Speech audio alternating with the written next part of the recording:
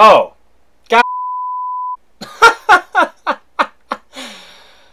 uh, sh- well, that was not what I had in mind. Was the ear rape? uh, I'm gonna get killed for that one.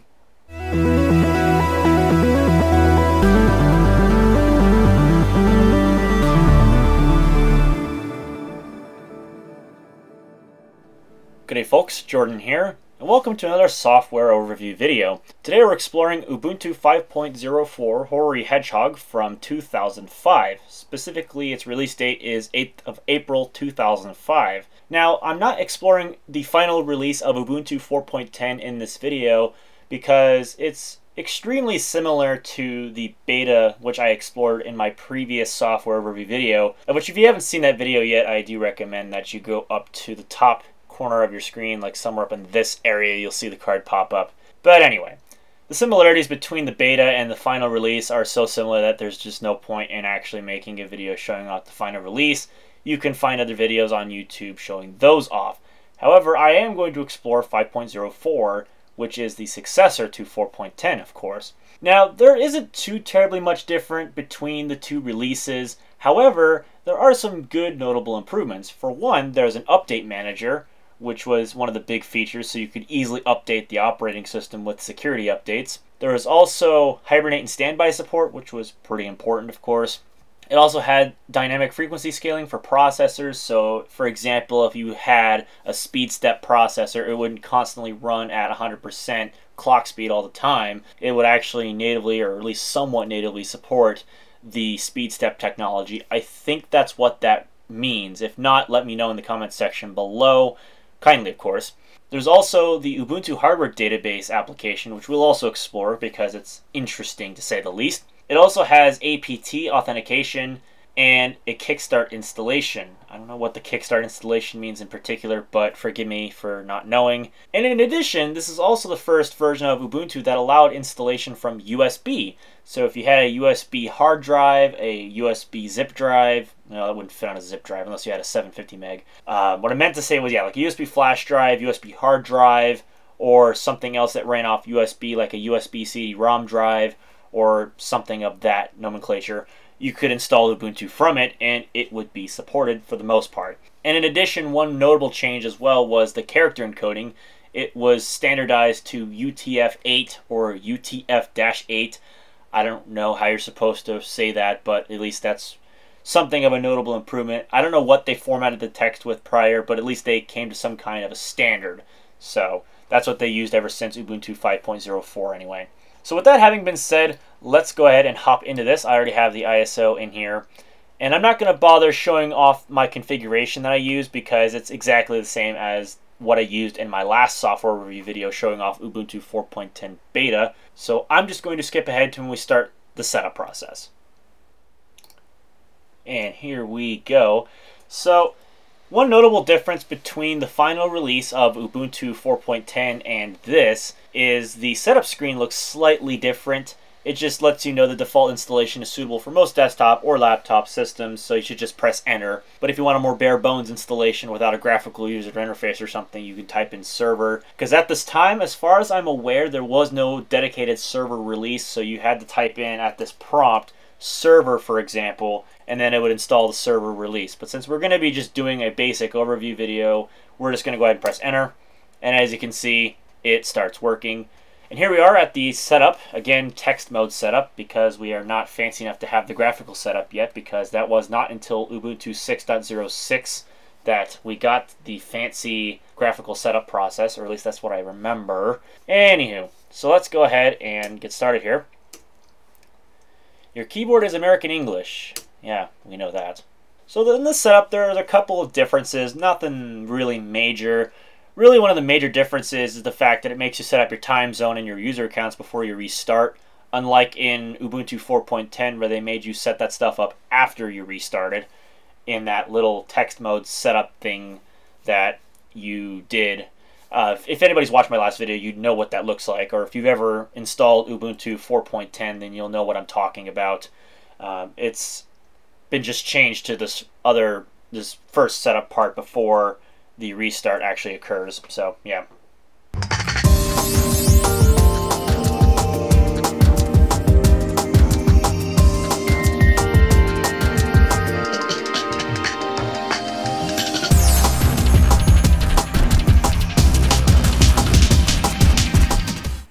Here's one of the differences. As you can see, it wants me to punch in my time zone, which is in this case Pacific, and set up a user account. So we'll go ahead and do that here.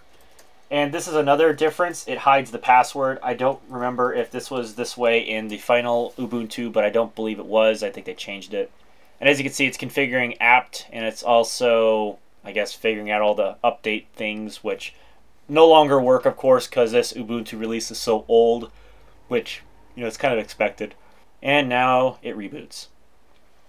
So again, it boots in text mode, which is to be expected because, yeah, that doesn't come until the next release where we get the graphical uh, environment on boot up.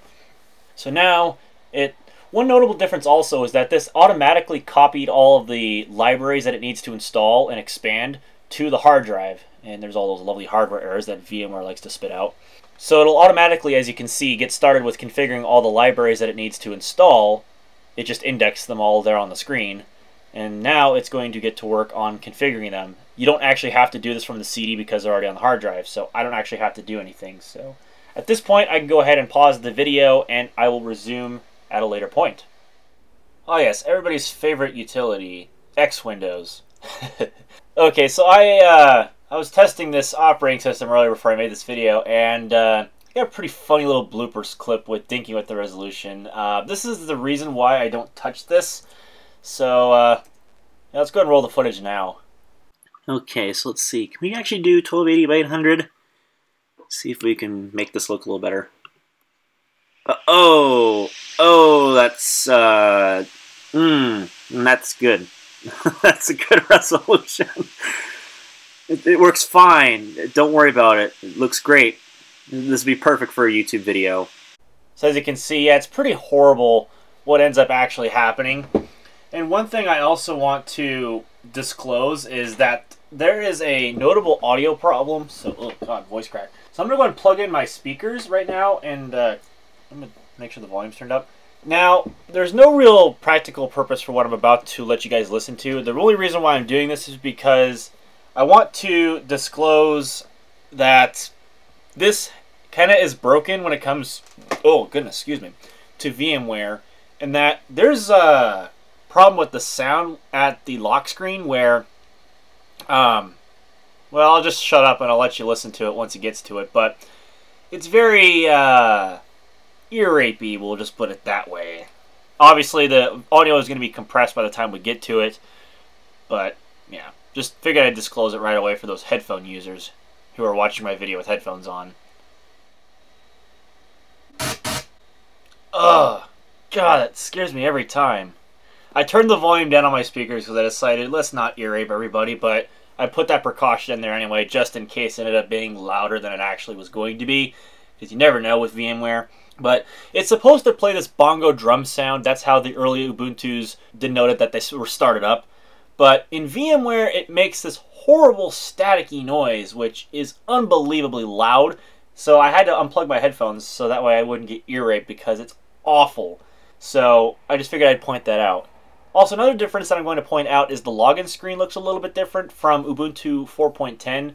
So there's your little visual comparison there between the two. It's not really anything noteworthy of a new video, so that's why I didn't bother. So let's go ahead and log in here. Hopefully my mouse is not screwy with this. I did some prior testing. It seemed to be fine, but again, I don't know. It might have just been a quirk of the 4.10 beta that I was using.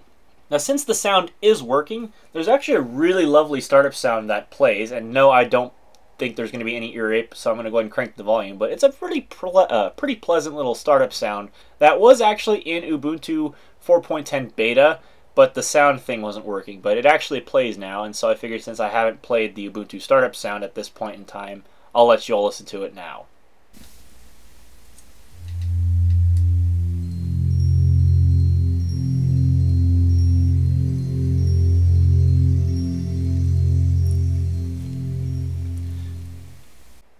So as you could hear the startup sound is actually pretty pleasant. It's pretty quiet because the volume in the virtual machine's turned down. But there's also a little denotation on the splash screen there that said Linux for human beings, which I believe is how they marketed Ubuntu at the time. And in fact, they actually go a little bit more into detail about this on the main little splash screen that you see here in Firefox, talking about the definition of Ubuntu as being humanity to others. And um, they talk about Ubuntu Linux is a complete open source operating system built around the Linux kernel. There! Now that should answer everybody's question about whether Linux is a kernel or an operating system. They even mention this right here in the documentation, so there's absolutely no excuse why you can't call Linux a kernel and not an operating system and fight about it in all the YouTube comment sections. There. There's your proof. I found it. Anyway, enough of that. That is actually, when I, will go back into Firefox, you have to turn that up. That is actually one of the differences that I was going to show you is Firefox is now version 1. Uh, previously, it was a pre-release version of Firefox that was included in Ubuntu. So, just figured I'd point that out. There's also this really nice and elegant looking Splash wallpaper. At least I think that's what they call it, was Splash? Or Sparkle, that's what it was called. I thought it was Splash. Maybe that was a later release. I don't know. Also, one thing that's worth pointing out is some of the sound effects are bongo drums when you access the menus or launch some applications. So if the MacBook Pro fan isn't going to be too overwhelming, I'll go ahead and I'll try to see if I can replicate some of those sound effects now.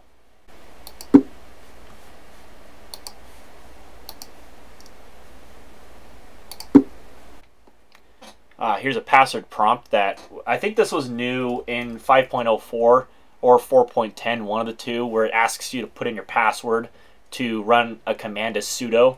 So here's the update manager. This is one of the applications I was going to show you. So as you can see, it goes to download some files, and then it just says this distribution is no longer supported. So unfortunately, we're not going to be able to see any updates here. But that doesn't really matter anyway because, well, this is such an old version of Ubuntu. I'm really surprised it still connects. But yet, this is one of the new applications that was included in Ubuntu 5.04. Now let's see what other ones could we include, um, or what was included. Um, they fixed the settings menu, so now all the settings that you would ever care for are actually in a preferences panel, rather than being screwed up between both the administration and the preferences panel like it was in 4.10. So they actually fixed it at this stage, which is pretty nice. And also one thing that's interesting to look at is the login screen setup, which also needs to run in sudo. Let's see, which one was it? The graphical greeter, there it was. There's a theme built in called Human Circle of Friends, and uh, that's really interesting because the preview is not the same as what's actually displayed on the login screen. Don't know why this is, but it was that way. But anyway, I'm not going to bother showing it because there's no point. It would just take you back to the login screen and play the ear rape once again, which is not fun. Trust me, I about did that myself earlier. Oh! God! Uh, well, that was not what I had in mind. Was the ear rape.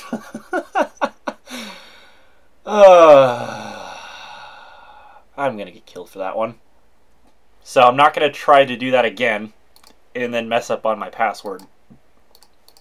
So there's some other notable differences like I mentioned, and also another difference is that OpenOffice has a slightly different release.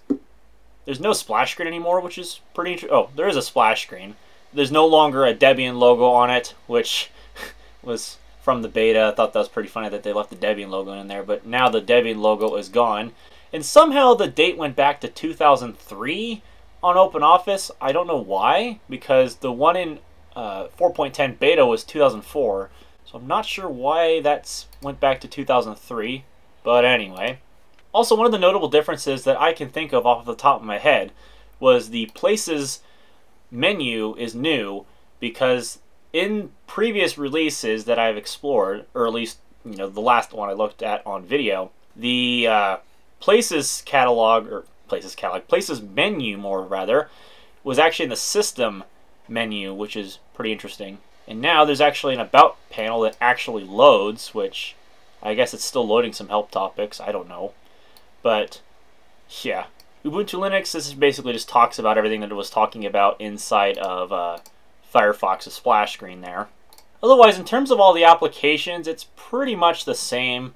I guess we could look at GIMP, which is a different release in this video, or in this video, this operating system. I'm just not talking today. But yeah, this is a different version than what was in 4.10 but I couldn't show it in the 4.10 video because I didn't want to try to change the screen resolution. Well, actually, I couldn't change the screen resolution. I think it was version 2.1 in the last version of Ubuntu, but as you can see, here's GIMP.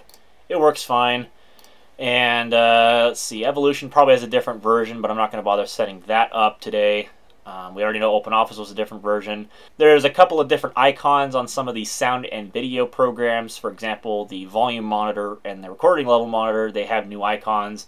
The CD player, I think, has a different icon. Same thing with the music player and whatnot. I think those all have different icons on them. And uh, the bug report tool is still there. One thing I was also going to look at was this Ubuntu device database program.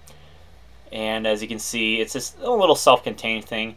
This is the Ubuntu Hardware Database Collection tool. It obtains all possible data about your hardware, performs certain self-tests, and asks you some questions about the auto-detected values. The collected data is submitted to the central Ubuntu hardware database for building a web-based information resource about supported hardware. Developers utilize the collected data to fine-tune auto-detection and improve Ubuntu hardware support. By submitting your hardware information to the central Ubuntu database, you will have online access to your data in the future. No personal user information will be collected or transmitted through this process. And it thanks you for helping to improve Ubuntu. So as you can hear, it does an audio test first and foremost, and yes, that does work. I can't click the forward button for some reason, I don't know why. There we go. Is your video display hardware working properly? Detected settings is 1024 by 768 at 60 hertz. Yes, that's fine. Is your mouse working properly? Yeah, it seems to be working properly. A bit slow, but that's just a quirk of the VM. And as you can see, the network test works because it pings properly and plays a little ding sound effect for each one. Yes, the network's working. Is your keyboard working properly? I don't know. I guess it does. and then please fill in additional comments below, and then once you press forward once again, if it will let me press forward once again, come on. There we go. There is the old style Ubuntu progress bar there. And then once this finishes, it just asks you to press OK to send the data. Unfortunately, this utility no longer works. As to be expected, it no longer works because, of course, I think nowadays they automatically collect all this data. You don't have to send it to them yourself. And, of course, it doesn't work. The hilarious thing is it says, the data will get dropped to your desktop. Please send it as mail attachment to hwdb at ubuntu.com. So I guess if somebody really was interested in letting the Ubuntu devs know about their hardware, they could definitely send it to their email. It gets dropped as this .bz2 file um, in XML format. So you could email that as an email attachment off to the Ubuntu developers, and then they could use that to help improve the operating system. So other than that, those are some of the notable differences between uh, 4.10 beta and 5.04. Otherwise, pretty much everything else is the same, including the Minesweeper game, which has those horrible faces an even better one, which I didn't even show either, which is pretty sad because I, I did not see this one. But anyway, I'm surprised I have not lost a game yet. How have I not lost a freaking game yet? I don't even know. Ah, there we go. Even better. Alright, so that's about it for this video. There's not really much else to say. So I'm going to go ahead and shut down the virtual machine. And I just want to also take this moment to thank you all for watching. And I will see you all in a later video. It cuts off the shutdown sound, unfortunately. Which is a shame, because it's a really nice shutdown sound, too. Anywho, I guess because it, it ends one of the services that deals with the sound. And it also kindly tells you power down at the very end before it shuts off. So anyway, that's really the end of this video. So, again, I want to thank you all for watching, and I'll see you all later.